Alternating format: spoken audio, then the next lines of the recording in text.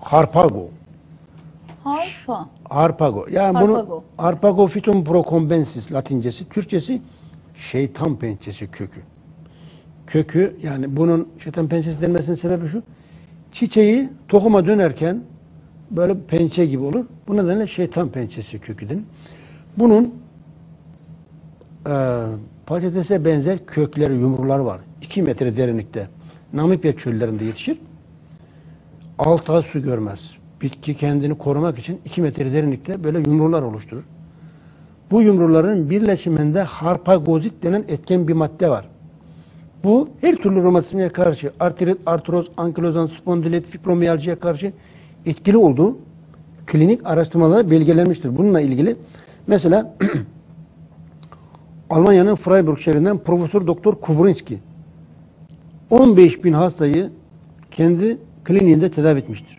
Artrit, artroz, ankilozan, spondilit, fibromiyalji, omuz, sırt, bel, baş ağrıları olan hastalar belge var, bilgi var. Bununla ilgili de burada dergilerde, kitaplarda her türlü isteyen Google'dan gi- girebilir veya doğaltedavi.net'te bununla ilgili çok ayrıntılı bilgi var.